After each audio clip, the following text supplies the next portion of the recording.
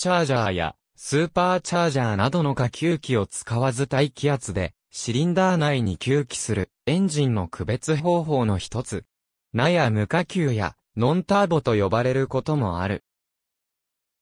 特に自動車において、このように下級機を持たないエンジンのことを自然吸気エンジンと呼ぶ。本校ではこの自動車エンジンにおける自然吸気について述べる。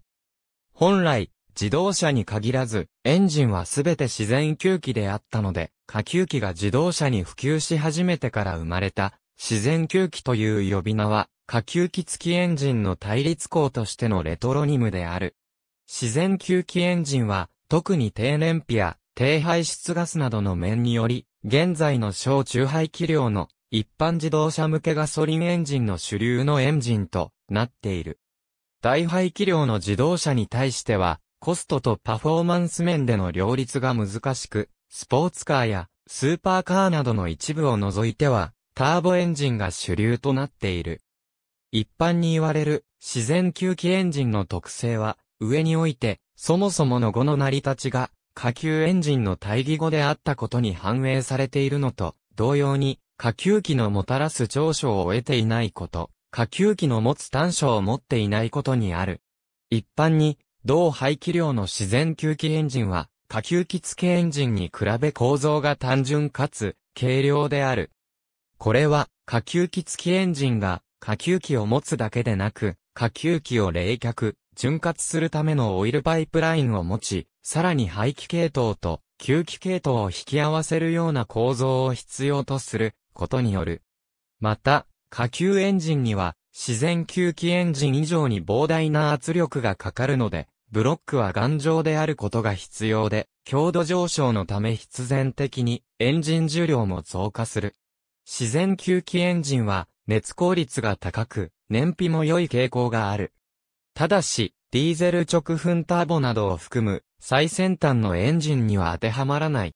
適度な排気下級は排気エネルギーの再回収という面で原理的には熱効率が上がるはずだからである。また、燃費の良い傾向があることは、エンジンの軽さや、低出力ゆえの軽い車体によるところも大きい。自然吸気エンジンは、発熱が下級エンジンより低い。下級エンジンは、同体積の燃焼室内で燃料を圧縮空気で大量に燃やすことができるので、発熱が高くなる。これは熱効率を低下させる。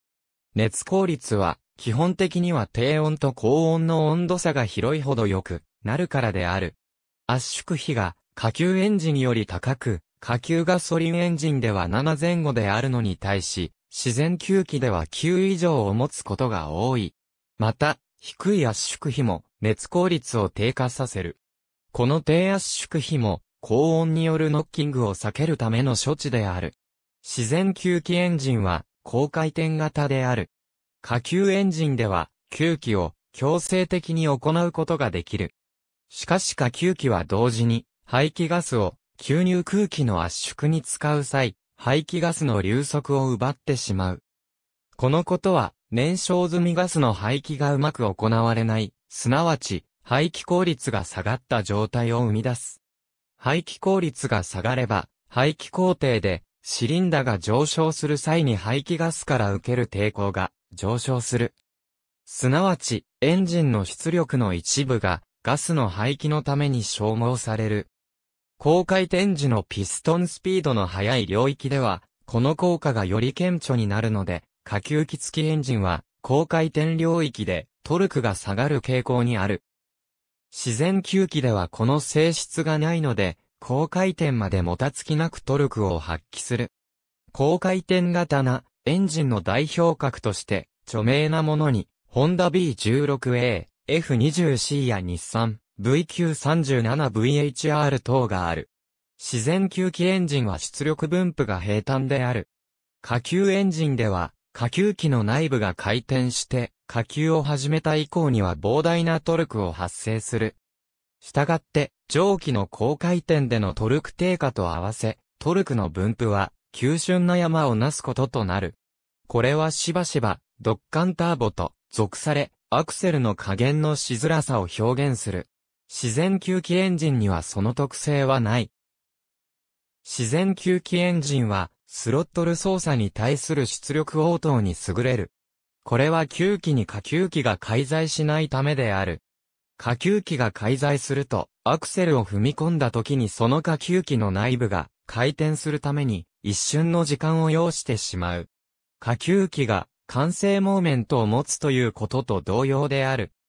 この応答に優れる特性がもたらす長所は、運転のしやすさ、操縦性という意味で決して小さいものではない。前述の平坦なトルク特性と合わせ、絶対的な出力として、下級エンジンに一歩劣ることの多い、自然吸気エンジンが、スポーティカー、GT カーにおいて根強い支持を得ている一因と言える。自然吸気エンジンは、アクセルに対する反応が俊敏かつリニアである反面、同排気量の下級エンジンよりも非力である。したがって、より出力を上昇させるために、様々な工夫が考えられた。出力上昇のための方法には、下級機追加とメカチューントがある。下級機追加では、下級エンジンの特性を持つようになる。単に出力を重視する場合はこれを選ぶ。同一モデルの車に下級機付きエンジンがある場合は、そのエンジンに乗せ替えたり、アフターパーツとして下級機を追加することがある。メカチューンは高価であり、1馬力1万円と言われることがある。手段も限定的であるが、自然吸気の特性を保存あるいは増強することができる。しかし、ストリートチューンの世界においては、VVT 等の可変バルブ機構といったメカを逆に取っ払うこともある。可変バルブタイミング機構により出力を上げることができる。自動車メーカーでは積極的に採用している。代表的なものに、ホンダのビテックやトヨタの VVTi、日産のネオ VVL、三菱のマイベックなどがある。記述の際には、N、A あるいは NA と書かれることもある。このような後付けによるものを、ターボチャージャーの場合は、ボルトオンターボ、または、ボルトオンターボチャージャー、スーパーチャージャーの場合は、ボルトオンスーパーチャージャーという、ありがとうございます。